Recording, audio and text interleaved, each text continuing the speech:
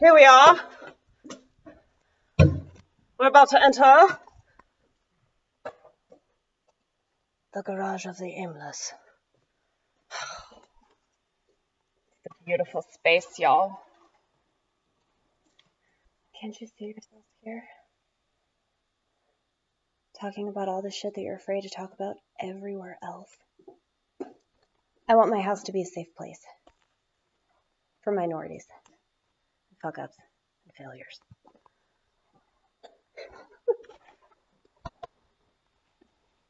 oh! This is a piano that I've been doing a lot of work with. Um, let me show you guys what I've been doing because it's fucking brilliant. Where's your coffee at? It's in there. Hold up, hold up. I'll be right back.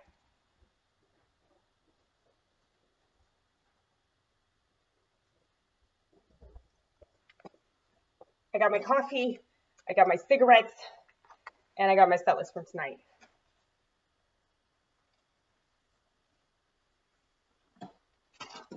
See, this is what they were fucking laughing at. The colors. Like, I'm eclectic, okay? Jesus. Why did you bring your weed down here? I don't know, man. I, I guess I just want it with me everywhere I go now. You better not take that shit to the grocery store. You're gonna like forget about it. You're gonna like be walking around with it in your fucking pocket, smelling like a fucking marijuana plant. Yeah. Just like a giant tree of the cannabis flower.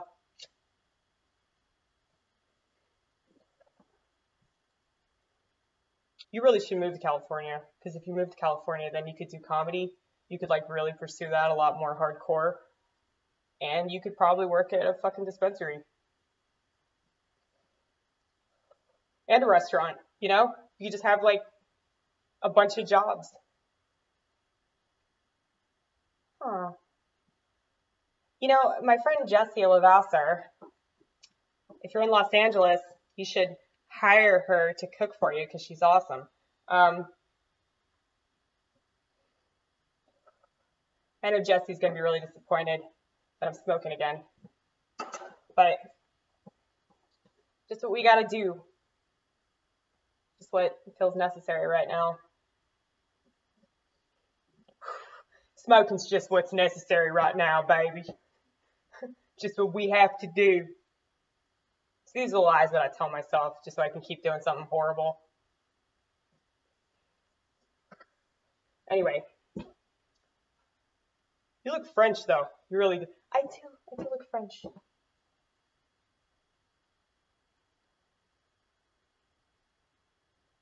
So, uh,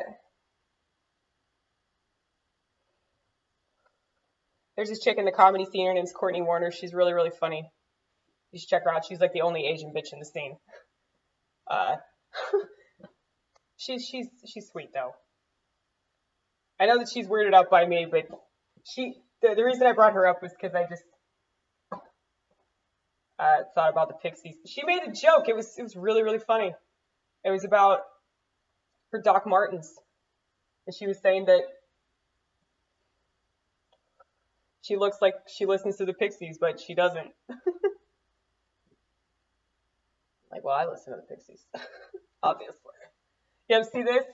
It's it's like totally like nicotine stained.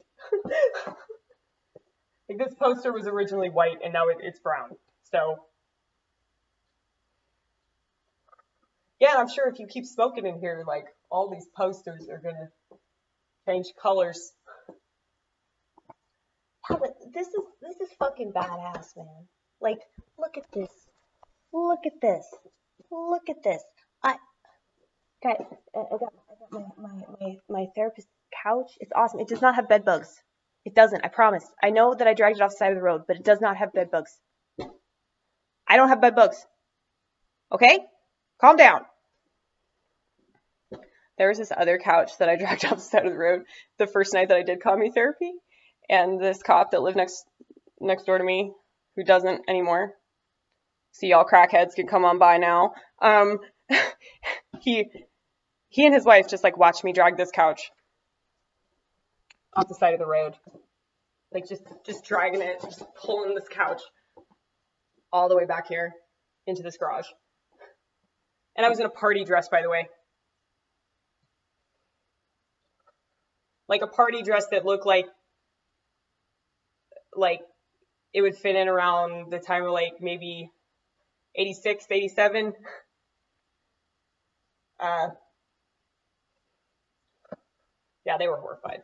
Um, yeah, I, I brought this couch in here and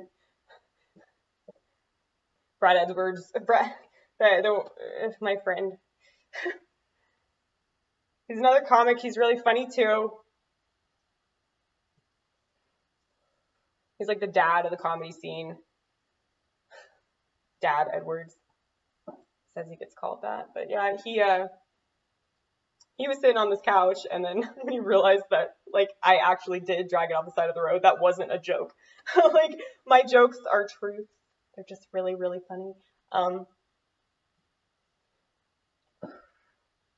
yeah, uh he he immediately got off of it. But but the, I think that that couch was bad though. It definitely smelled like cat piss. And my friend Tony, shout out to Tony and Heather, my favorite rednecks.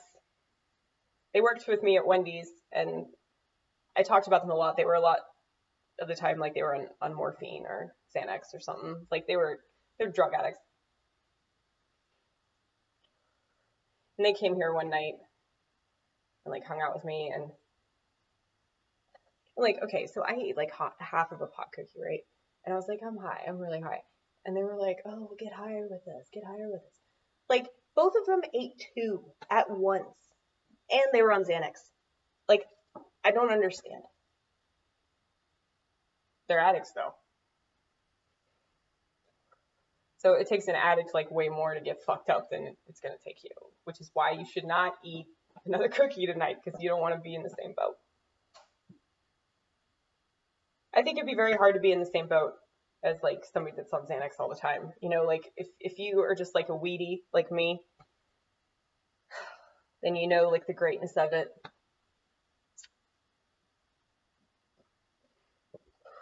What were you gonna do? You were gonna do like a set list about you.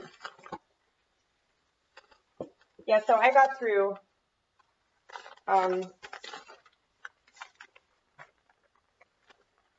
I got through this whole page and then I got up to there. So there's still all this, all that, and this. but it's funny because like when I timed it, it was like five minutes. Yeah, but then there was that like that card that they threw at you. Like this this is like the premise of the game basically, Jokemon. Like it's really cool though. It's really fun really great idea. Um, uh, it's just comics put up like they're competing against each other. It's not. It doesn't feel competitive though. It was. It was really nice. Um, like everybody did well tonight. Um, I'm trying to think of like who was on. Uh, the first person that went on, Courtney Warner, um, Josh Wagner, uh, was it? Um, fuck, what the fuck is his name? Like, Michael something? I feel bad because I don't remember this guy's name and he's so fucking funny. Oh my god. He reminds me of myself. He's just, he's totally out there. Um, he's got really crazy hair. Um, um, well, this really awesome guy in the scene, but whose name I cannot recall at this particular moment for obvious reasons, um, he he did really well. he's got crazy hair and he's hilarious. Uh,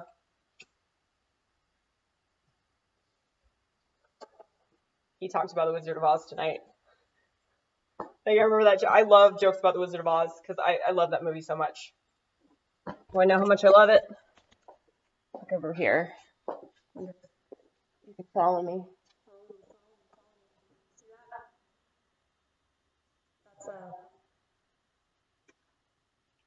let's go. Let's go.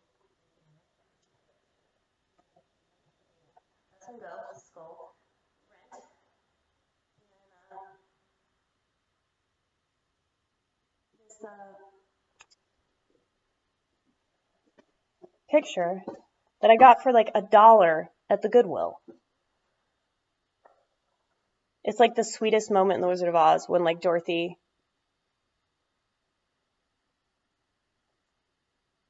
like wipes the tear off of the Cowardly Lion's face. It's just beautiful. Um, but yeah, I, I think that that movie's about borderline personality disorder. You think everything's about borderline personality, but uh, so many things are. So many things are, and I don't even think that they're like. I, I feel like people are like way more fucked up. Like they are way more on this scale of mental illness with me than they realize. I mean, I'm not saying that y'all are on my level, but I'm saying that you have similar ideas. And you want to know why The Wizard of Oz is about borderline personality? You want to know? I'm gonna I'm gonna tell you. I'm gonna tell you all about it. Okay, so Dorothy. This is the movie, by the way. You probably should read the books. Yeah, I should read the books. I'm sure the books are like freaking incredible. Dude, in the movie Girl Interrupted, that was about borderline personality. Um, and uh, that one chick was like obsessed with Wizard of Oz. Like it was her favorite movie, and she was like constantly reading the books. Oh shit, somebody's outside. Hope they're not gonna rob me.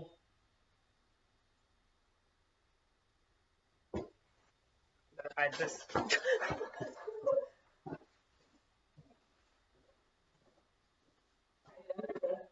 steak and shake aprons. Dude, I have a whole fucking box of steak and shake aprons, y'all. Come over here. Just want y'all to see it.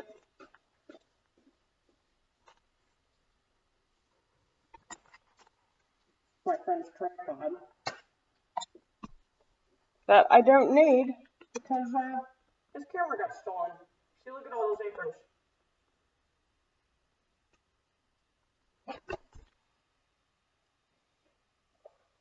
A laptop does terrible camera work, okay? It's not me.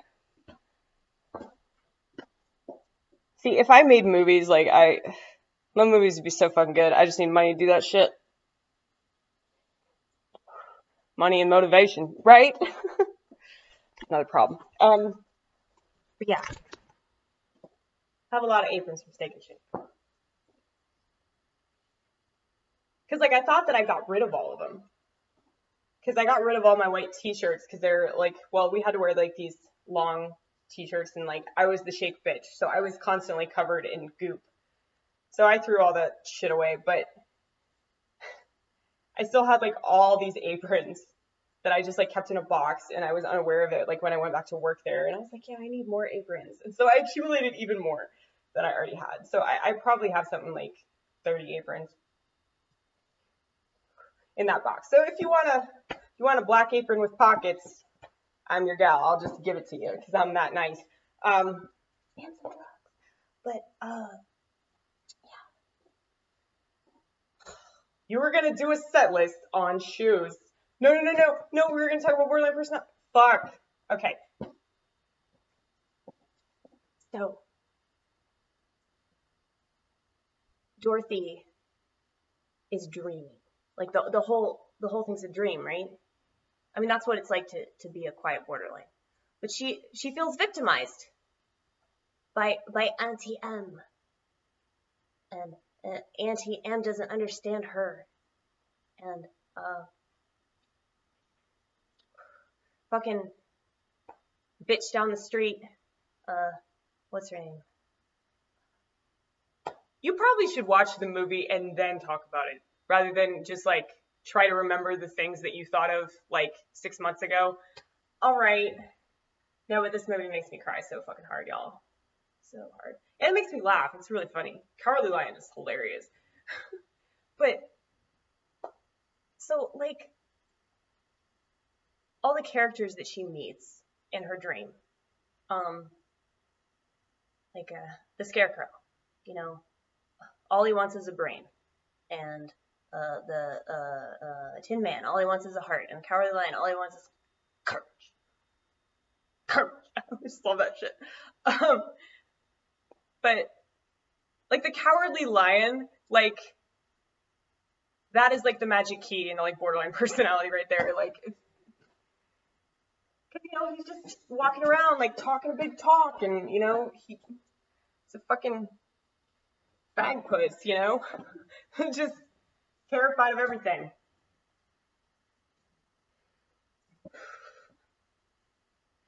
But anyway,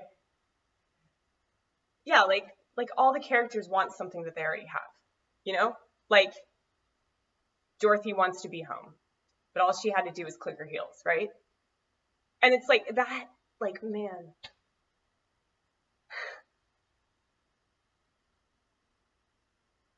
It's like that's exactly how it feels. Yeah, I can do it. I can try to click my heels. I'm doing this weird like David Byrne like move. but yeah, dude, like they all want what they already have. And like the fucking wizard is a lie, you know? Like he's God or whatever, but he's just a man behind a curtain. Like it is that is one of the most symbolic films ever. Uh but yeah, uh,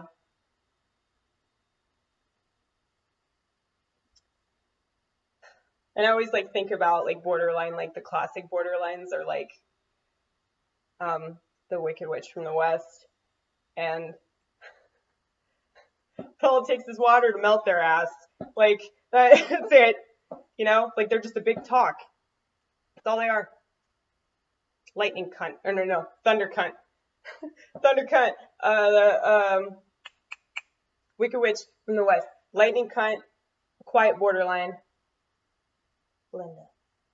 Yeah? She's just there to expose the truth. and she's got those like lightning powers though, like she just fucking appears. Like, dude, I, it is it, that that is such a borderline movie. I'll give y'all a list. Movies that probably are about this illness. It's good though. It's like a awesome insight into the way that people really are. You know, that's what I'm realizing about it. That borderline. Maybe it's not just called borderline because it's on the cusp of psychosis, but maybe it really is like the borderline of like society and like I, I don't know where I'm going with this. saying that it's it's more understood than like people are, are more this way than they want to be. Yeah, yeah. I can teach y'all so much. Fuck, my vagina itches. Don't you hate that? That's the worst. Like, dudes just scratch their balls like in public. And so I'm just I'm doing it now. I don't care anymore. Done caring. It's like what I was going into earlier about how like, you know, I used to hold in my farts you know, plug my ear holes when I was taking a shit in a public restroom. Think that's crazy that I did that. you know, the, the lies that we tell ourselves. It's hot in here, it falls into the toilet. Nobody heard it.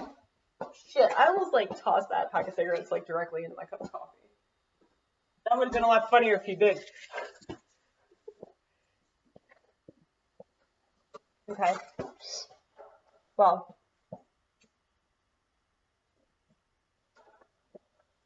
You waited almost 20 minutes for it, y'all. Appreciate it. Shoes, shoes, shoes, shoes, shoes, shoes, shoes. You can tell a lot about somebody based on their shoes. It's a very quick and easy way to judge a person's character and life decisions. I went the existentialism route with this. What does shoes really mean? I'll tell you this, if you're homeless, then you appreciate shoes way more than some bitch who owns 500 pairs. Take that, Paris Hilton. Women accumulate so many shoes. It's ridiculous. Do we think that we'll develop a personality that way? Is that it? Dude, I have 16 pairs of Chuck Taylors. I can only assume that this is why. But hey, I got a lot of personality, so maybe it'll work. There, I, I. Chuck Taylors. Those are the only shoes that you scuff up on purpose. The dirtier they are, the cooler you are. Whoever has the filthiest chucks gets the most hipster cred. Plus, a doggy bowl full of PBR. I've worn these chucks for 15 years. Hashtag starving artist forever. You ain't a starving artist. You smoke parliaments. The five bucks a pack. You only do it so you can call them P4s. You know, they taste like ass. But I don't know. You might be into that. No judgment. Women, though, we got way too many shoes. We do. I figured it out, though. Women hoard shoes because we want a shoe for every occasion that we imagine could possibly happen. What if I get invited to a neo-Nazi party and I'm looking to infiltrate and destroy? That's the only reason I bought the swastika boots, okay? They were really cute and they were totally on sale. If you wear heels, you're an obvious cunt. Why you gotta be towering above the rest of us with that clickety clack of arrogance? It is convenient though, because I always know when a cunt's coming around the corner. Flats or the down to earth girl next door who likes to listen to Bon Iver and just weep. You know that bitch watches Gilmore Girls? Boots are what you wear when you're trying to assert yourself. Case in point.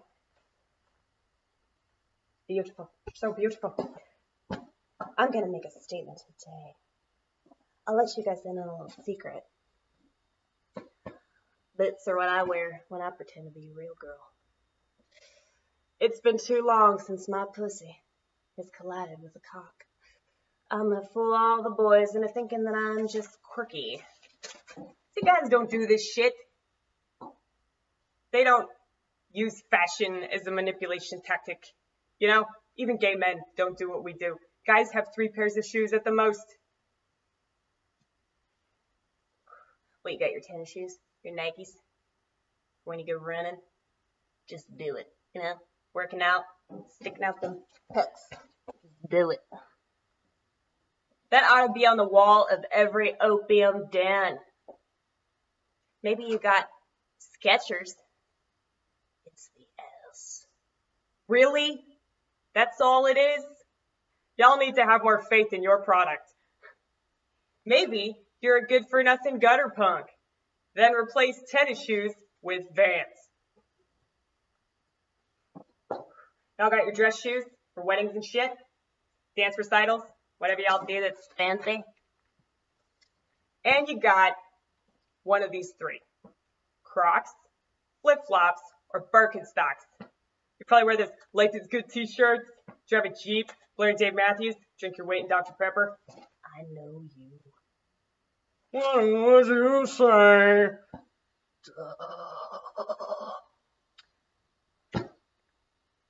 Y'all remember moon shoes? Where are my 90s kids? For those of you youngins, you little babies. Moon shoes were those magical bouncy shoes that gave off the impression that you too could be Neil Armstrong.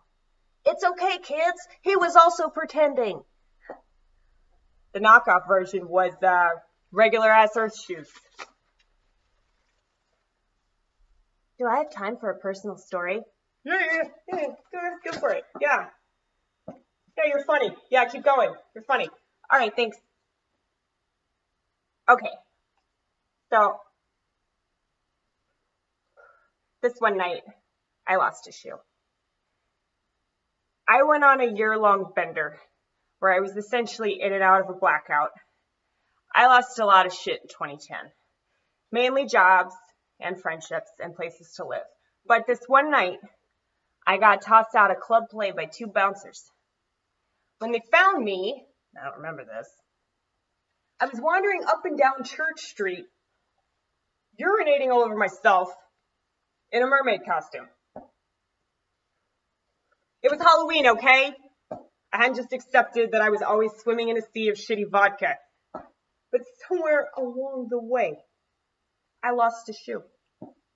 And I'll never know what happened to it. That motivated me to sober up, y'all. It was a good fucking shoe! Just kidding. I drank for like six more months after that. Shoes aren't that important. Told y'all, I'm not a real girl. End scene.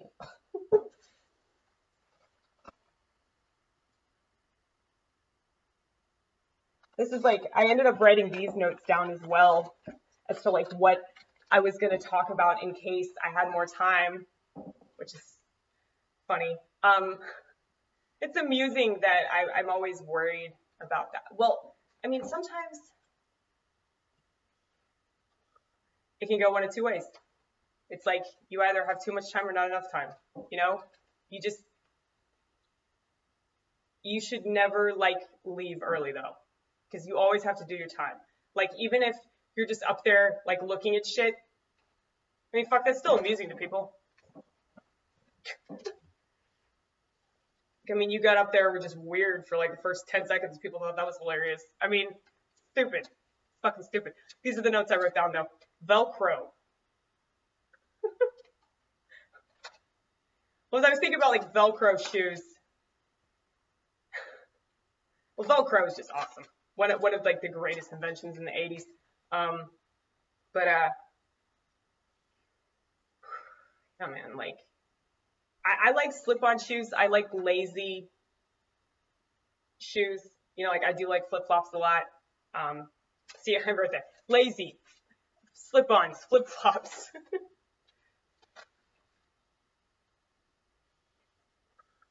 Jesus wore flip-flops.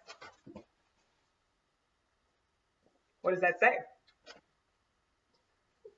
He did die in a cross, though, so I, I feel like hearing that and that right to be all laid back, you know, before he died in a horrific way after he was tortured. Um, yeah. all for us, you guys, all for us. All for that eternal life. Um, but, uh, okay, see, this was an interesting thing that I should have talked about. Well, I, I mean, I don't regret, like, any, it was great tonight. Um, but it was a show show. You know, it wasn't just like like I said, it wasn't just some lame ass open mic. I feel like with the East Room, like if, if it if you do well over there, um, it's pretty rewarding. You know, like you just get that oof. You know, like like you know, it, it, I feel like it's the stage, like just being on a stage. Um, but that's also what's so scary about it too. Uh, anyway, uh, what I what I want to talk about, because uh, there's so many directions that you can go with with different topics, you know, and I feel like I went in a lot of different directions, which is cool. Like, um, I'm just realizing like my capabilities as a comedic writer. Um, but like, what about those people with like foot fetishes? I feel like summer it's got to be either the best or the worst time for them. You know, like, because if you think about it, like, all the women that wear like flip flops and sandals and heels, like, during the summertime, like, I mean, even in the wintertime, they do that shit just because they hate themselves, but, um, they just want to be fashionable, even though they're really uncomfortable. Um, I don't understand that shit. Like, I'm all about comfort. Like, I'm already uncomfortable enough as it is. I don't you know, uh, need to like be like awkwardly walking everywhere because I insist on looking hot. Like I just, I mean, I cannot walk in heels, no way. I used to be able to. I used to be able to walk in platforms. Like I love platforms, y'all. I was obsessed with Spice Girls. Kiss my ass. Uh, dude, that was that was another thing you could talk. Yeah, see, this just inspired me to like go a different route with comedy, not just look to offend people. I mean, I feel like my comedy is already offensive anyway, just because I'm so fucking harsh with the way that I see society. so it really doesn't matter what I'm talking about. It's going to get dark at some point. Um, but I feel like that's what makes me um, passionate or I, I, was gonna say enjoyable to watch, but that's not true at all. but um, yeah, so that's gotta be rough. Like, like so if you have a foot fetish, like, um, and it's summertime, like, what do you do? Do you just like stay inside because like you're gonna get an erection every time? See, that's what I don't understand about men. Like, men talk about sex all the time. They talk about their penises all the time, and I think that they're lying because, like, for as much as they say that they think about sex, like your penis should be constantly erect for how often you, you bring up the subject. Like, and like, I mean, my panties are wet, like, throughout the day. Like, I, I'm, you know, doing things all day, um, you know, fixing drinks and taking orders and dropping fries and doing his job, doing her job, and, you know, running around and running around some more and scrambling because there aren't enough people. Um, welcome to a restaurant. Uh, but yeah, I, I mean, I, I have this love porno, which is uh, the uh, pornographic segment of my brain that um, just repeatedly fantasizes about being loved and fucked unconditionally. Um, and unconventionally. so there's that, you know, um, and so I've got that going on in my head, just like a Mobius strip. So it's like, uh, uh, uh, two small chocolate frosties. You need a small fry? Uh, okay. Come to that first window, please. Thank you That's not how I sound. Um,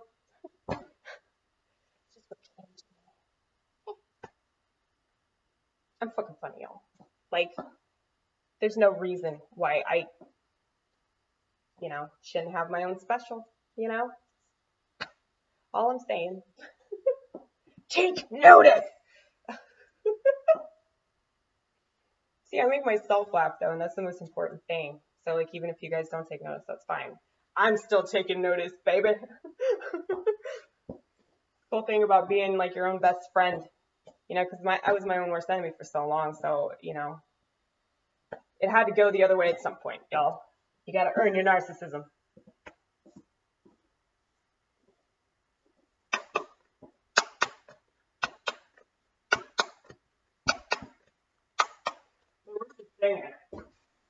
My at? this baby. Next up.